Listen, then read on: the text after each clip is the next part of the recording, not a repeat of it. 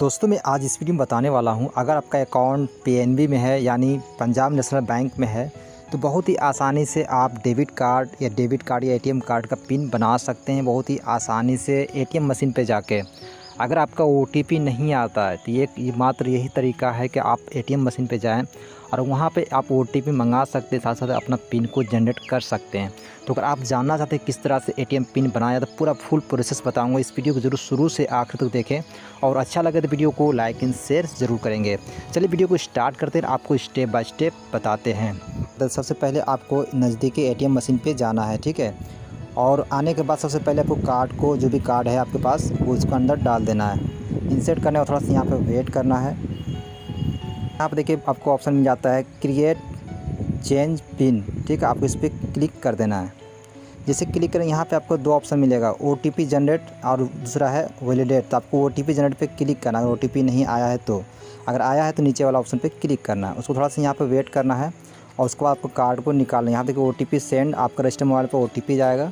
तो मेरा आ चुका है, उसका फिर से आपको कार्ड को डालना है, ठीक है? कार्ड डालने में थोड़ा सा यहाँ पर वेट करना है। तो फिर से आपको उसी ऑप्शन पे क्लिक कर क्रिएट चेंज पिन पे क्लिक कर देना है। उसको आपको नीचे वाला ऑप्शन पे आप फिर से आपको यहाँ पे क्लिक करना है ओ टी पी वैलिडेट पे क्लिक करना है। उसका जो भी ओ टी पी आया, आपको ओ टी पी यहाँ पर इंटर कर देना है। फिर सिक्स डिजिट का मेरा आ गया eight three two seven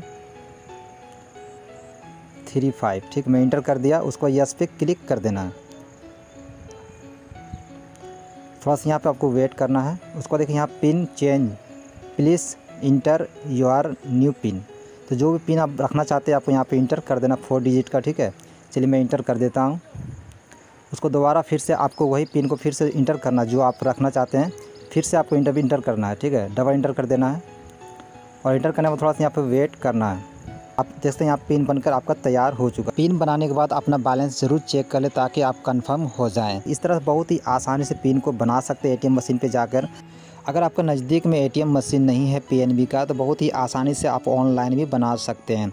online pin कैसे बनाते हैं, अगर आप जानना चाहते हैं मुझे कमेंट करें, मैं इस पर वीडियो ज़रूर बहुत जल्दी बना दूँगा, ठीक है? और ये वीडियो कैसा लगा, आप ज़रूर बताएँ। वीडियो अच्छा लगा तो वीडियो को लाइक कीजिए शेयर कीजिए।